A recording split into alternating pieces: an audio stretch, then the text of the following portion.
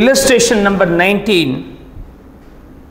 Arjun carries on grocery business and does not keep his books on double entry basis. The following particulars have been extracted from his books.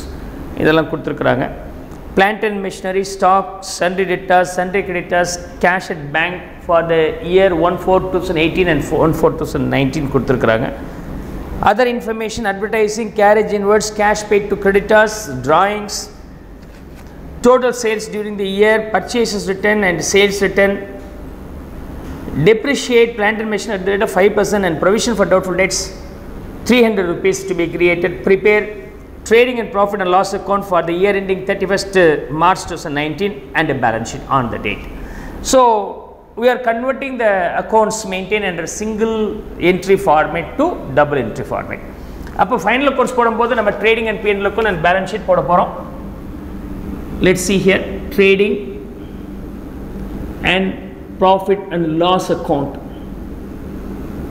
Balance sheet. Balance sheet. So balance sheet. Closing balance sheet. Right. எல்லாமே இன்ஃபர்மேஷனாக தான் இருக்குது எதுவுமே account ஃபார்மேட்டில் இல்லை. இப்போ account ஃபார்மேட்டில் இல்லாமல் ஒரு அட்ஜஸ்ட்மெண்ட் மாதிரி டேட்டா கொடுத்துருந்தால் ஷுட் பி போஸ்டட் ட்வைஸ் அந்த லாஜிக் வச்சுக்கிட்டு புக்கில் எல்லாமே ஓப்பன் பண்ணுறானோ இல்லையோ நம்ம எல்லாத்தையும் ஓப்பன் பண்ணிட்டோம்னா கம்ஃபர்டபுளாக ஆன்சர்ஸ் வரும்னு சொல்லி கொடுத்துருக்குறேன் டபுள் என்ட்ரி ஒவ்வொன்றும் plant and machinery twenty twenty plant and machinery so opening statement of affairs or statement of affairs in the beginning statement of affairs statement of affairs as on one four 2018 1 4 2018 balance sheet is uh, as on 1 4 2019 opening plant and machinery அதில் asset side வரும் closing இங்கே வரணும் right so asset side and liability side liabilities asset sideல plant and machinery plant and machinery value being 20000 in the beginning. Of நீங்கள் அந்த account open பண்ணலாம். இந்த asset மட்டும் account open பண்ணணும்னு அவசியம் இல்லைன்னு சொல்லி கொடுத்துருக்க நேரம் இங்கே கொண்டு வந்து போட்டிருக்கேன் பிளான்ட் அண்ட் மிஷினரி டெப்ரிசியேஷன் இருக்கிறதுனால அந்த வேல்யூ அட்ஜஸ்ட் பண்ணுறதுக்கு நான் இன்னர் காலத்தில் போட்டுக்கிறேன். For the adjustment of depreciation I leave a line double entry over ஏன்னா plant and machinery account open பண்ணிங்கன்னா opening debit closing credit twenty twenty cancel ஆகிடும் அதனால் தேவையில்லை. டபுள் இன்ட்டு போட்ட மாதிரி அர்த்தம். Stock opening stock to opening stock value being nine thousand அந்த balance ஷீட்டில் ப்ரீவியஸ் இயர் பேலன்ஸ் ஷீட்டில் ஸ்டாக் இன் ட்ரேட்னு நமக்கு இருந்திருக்கணும். Stock in trade nine thousand and closing stock double entry by closing stock by closing stock 16000 இன்னொரு இடம் balance ஷீட்டில் நமக்கு அசட் சைடில் வரணும்.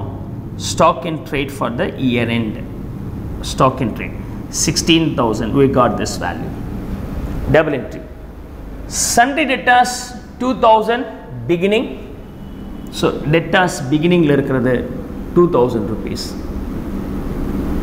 அண்டு இன்னொரு இடம் இங்கே ரெக்கார்ட் பண்ணோன்னா it's better to open the debtors அக்கௌண்ட்டை நீ ஓப்பன் பண்ணிக்கலாம். Total debtors account total debtors account இதெல்லாம் ஒர்க்கிங் நோட் தேவைப்பட்டால் தான் போடுறோம். இருந்தாலும் கம்ப்ளீட்டாக ஒர்க் அவுட் பண்ணிட்டீங்கன்னா உங்களுக்கு எது தேவையோ எடுத்து எழுதிக்கலாம். ரொம்ப பெரிய வேலையெல்லாம் கிடையாது இல்லையா? To opening balance and by closing balance closing balance அவ்வளோதானே So opening balance will come here 2000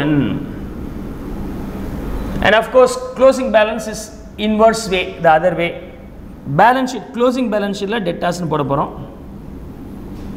இங்கே closing balance வந்து 5300 5300 ப்ரொவிஷன் ஃபார் டவுட்ஃபுல் டெட்ஸ் இருக்குது அதுக்காக இன்னர் காலத்தில் இந்த வேல்யூ போட்டு அந்த debt provision for doubtful debt adjust பண்ணுறதுக்கு ஒரு லைன் விட்டு விட்டுருக்கிறேன் Similarly, for the sundry creditors, double entry will come under liability side creditors value being 5000 the another place you have to open the trade creditors account நான் open open பண்ணிக்கிறேன் trade creditors or total creditors account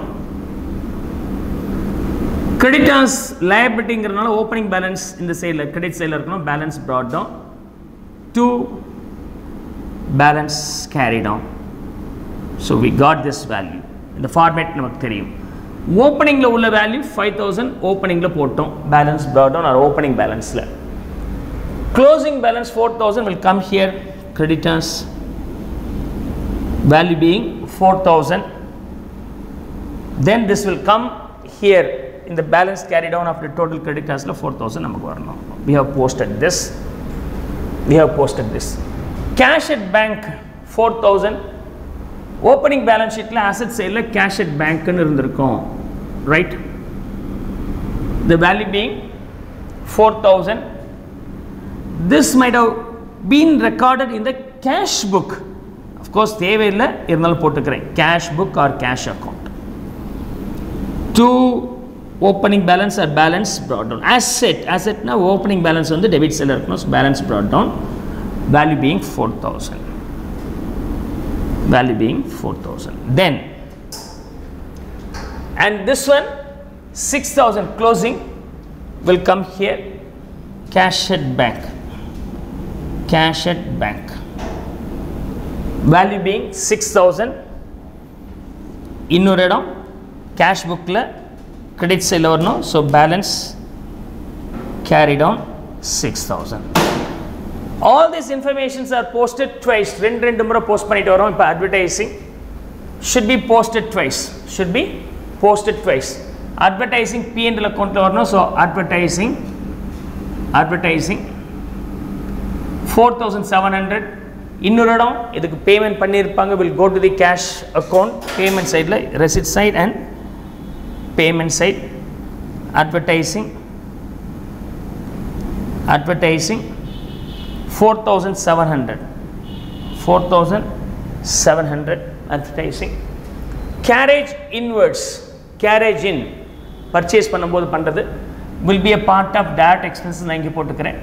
Carriage in carriage in carriage in eight thousand rupees இன்னொரு இடம் it is going to be record the payment side of the cash account so carriage in carriage in. Value being 8000 value being 8000 cash paid to creditors 80 sorry 64000 cash bookல payment sideல creditors ன்னு போடணும். Creditors.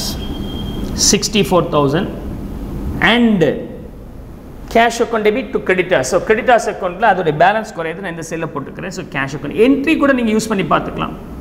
Cash account debit சரி credit creditors account debit to cash account creditors account debit to cash so அப்போ cash அக்கௌண்ட்டில் இந்த total கிரெடிட்டாஸில் cash account debit cell அந்த வேல்யூவை போடுறேன்.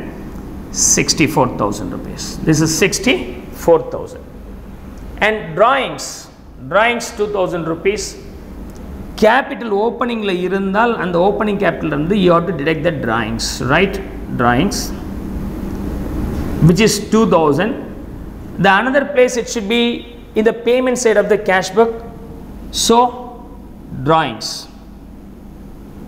drawings 2000 rupees this is payment side drawings 2000 போட்டாச்சு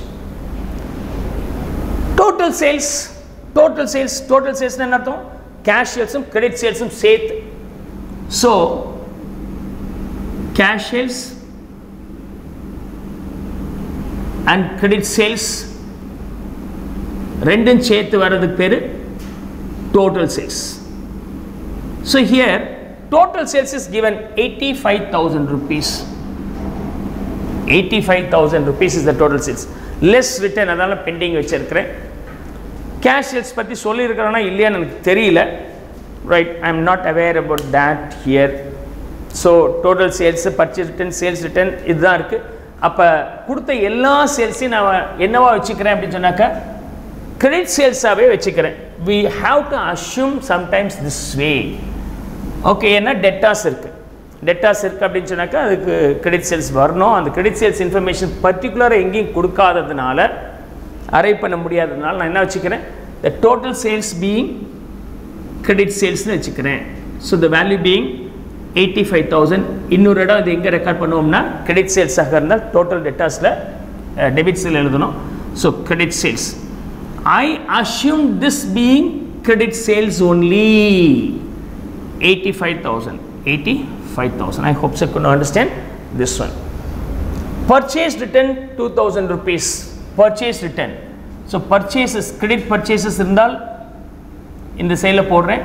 அதுலேருந்து minus return purchase return right two thousand rupees is detected from the purchases எனக்கு பர்ச்சேசஸ் இப்போதைக்கு தெரியாது பெண்டிங் வச்சுருக்கிறேன். இன்னொரு இடம் பர்ச்சேஸ் ரிட்டர்ன் எங்கே வரும்? பர்ச்சேஸ் பண்ணால் பர்ச்சேசஸ் டு கிரெடிட்டர்ஸ் ரிட்டர்ன் பண்ணும்போது ஆப்போசிட் சைடில் வரணும். ஸோ இங்கே பர்ச்சேஸ் ரிட்டர்ன் அப்படின்னு நமக்கு வரப்போகுது which is two thousand rupees okay purchase ரிட்டர்னுக்கு gel entry creditors account debit to purchase return அதனால் அதுலேயும் போட்டேன் இதுலேயும் போட்டாச்சு two thousand rupees then we have sales return sales return from the sales we have to detect the return the value being 1000 of course the entire sales is assumed to be creditors credit sales இருக்கனால அந்த ரிட்டனும் total டேட்டாஸை கொண்டு affect பண்ணும். Credit சேல்ஸ்னால் அதோட return opposite செல்லில் தான் இருக்கும். So credit sales இங்கே வந்து sales return so we got the sales return here value being thousand value being thousand and depreciate plant and machinery by five percentage இப்போ plant and மெஷினரியை நம்ம depreciate பண்ணணும். Minus depreciation five percentage on this thousand so outer காலத்தில் nineteen thousand போட்டாச்சு. தை another value இந்த thousand இன்னொரு இடத்துல எங்கே ரெக்கார்ட் பண்ண போகிறோம் பிஎன்எல் அக்கௌண்ட்டில் ரெக்கார்ட் பண்ண போகிறோம் depreciation on plant and machinery on plant and machinery the value being thousand one thousand rupees one thousand rupees provide for doubtful debts three hundred provide for doubtful debts three hundred okay so டெட்டாஸ்லேருந்து provision for doubtful debts நம்ம less பண்ணோம். PTT அப்படின்னு நான் ஷார்ட்டாக எழுதிக்கிறேன். So outer காலத்தில் five thousand rupees இன்னொரு இடத்துல இந்த PDD should be debited to the PNL account நான் பிஎன்எல் அக்கௌண்ட்டில் டெபிட் சைடில் போட்டுக்கிறேன். பிடிடி த்ரீ ஹண்ட்ரட் ருபீஸ் எல்லா ஐட்டங்களும் நான் டூ டைம்ஸ் ரெக்கார்ட் பண்ணிட்டேன். அப்போ trading and PNL account and balance sheet நம்ம சால்வ் பண்ண வந்துட்டோம். இதை பண்ணும்போது இதை பண்ணுறதுக்கு முன்னாடி நம்ம என்ன பண்ணணும்னா சப்சைடில் மீன்ஸ் அட்ஜஸ்ட்மெண்ட் மாதிரி இருக்கிற விஷயத்தை முதல் நம்ம டேலி பண்ணி முடிக்கணும். அது முடிச்ச பிறகு தான் இதுக்கு வர முடியும். ரைட் ஸோ டோட்டல் கிரெடிட்டாஸ் அக்கௌண்ட்டை டேலி பண்ணிங்கன்னா உங்களுக்கு என்ன வருது? ஸோ ஸ்டேட்மெண்ட் ஆஃப் அஃபேர்ஸ் இதை டேலி பண்ணுவோம் முதல் நமக்கு. Twenty twenty nine thirty one thirty five thousand thirty five thousand the balancing figure is nothing but the capital in the beginning so capital as on one four two thousand eighteen year beginning உடைய capital எந்த balance வந்தாலும் அந்த balance நீங்கள் எங்கேயாவது ஒரு இடத்துக்கு transfer பண்ணி ஆகணும். ஸோ இப்போ இந்த பேலன்ஸ் எங்கே ட்ரான்ஸ்ஃபர் பண்ணணும் க்ளோசிங் பேலன்ஸ் ஷீட்டில் ஓப்பனிங் கேபிட்டலாக நம்ம ட்ரான்ஸ்ஃபர் பண்ணியிருக்கணும். இடத்த விட்டுருக்குறீங்க so thirty thousand rupees minus drawings twenty eight thousand this is how we can finish off the first part balance sheet part opening statement of affairs நம்ம solve பண்ணியாச்சு. Right then we have to finish up the total debtors of 85 plus 2 87000 rupees 87000 rupees. And 80700 is the balancing figure. 80700 என்னவா இருந்திருக்க முடியும்? So opening balance closing balance sales இருக்கணும் அந்த sale என்ன இருக்கணும் payment தான் இருக்கணும். ஸோ பேமெண்ட் தான் இங்கே missing so I will name it as cash இதை இந்த பேலன்ஸை நம்ம எங்கே ட்ரான்ஸ்ஃபர் பண்ணி ஆகணும் so we have to transfer that to the cash account here total debtors total debtors right value being 80700 that's how we'll transfer here okay now we are going to solve the total creditors total creditors solve பண்ணும்போது 64 68 70000 70000 and 5000 இந்த சைடில் இருக்குன்னா balance 65 என்னவா இருந்திருக்க முடியும்னா it should be credit purchases ஆக இருக்க முடியும் ஏற்கனவே நான் சொல்லியிருக்கிறேன் நாலு ஐட்டங்கள் must opening balance closing balance credit purchase and settlement must ஏதாவது இன்ஃபர்மேஷன் நம்ம கண்டுபிடிக்கிறதா இருந்தால் இந்த நாலில் ஒன்று தான் இருக்க முடியும். அதே மாதிரி தான் இங்கேயும் அஷ்யூம் பண்ணியிருக்கிறேன் இங்கேயும் அஷ்யூம் பண்ணியிருக்கிறேன். ஏன் சார் இது பர்ச்சேஸ் இது மீன்ஸ் செக் டிசைனராக இருக்கக்கூடாது? இந்த மாதிரியெல்லாம் கேள்வி கேட்க வேண்டிய அவசியம் இல்லை. நாலு ஐட்டங்கள் தான் main so credit purchases so இங்கே கிரெடிட் பர்ச்சேசஸில் பொறுத்த வரைக்கும் சிக்ஸ்டி ஃபைவ் தௌசண்ட் இருக்குது ரிட்டர்ன் டூ தௌசண்ட் போயிடுச்சுன்னா sixty three is the final answer and here 85 la written 1000 போயிடுச்சுனா 84000 is the final answer. I hope you could now understand these values. Then cash account tally பண்ணலாம். So ஒவ்வொன்றா close பண்ணிட்டே வரேன்.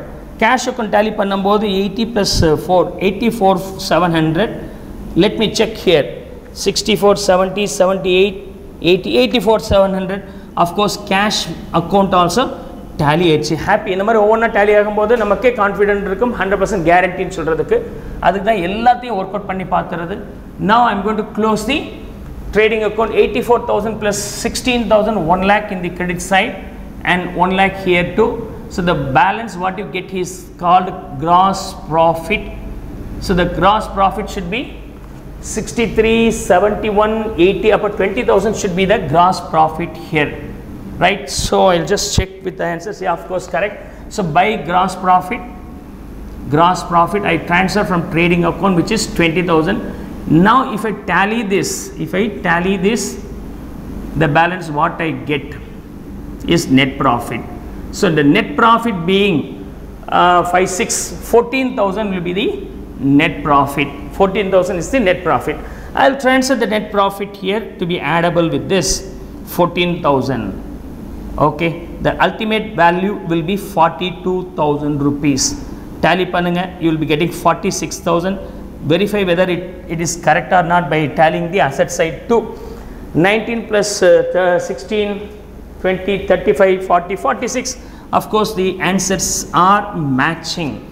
So, we have got the answer. I hope you could now understand the preparation of the complete accounts in incomplete books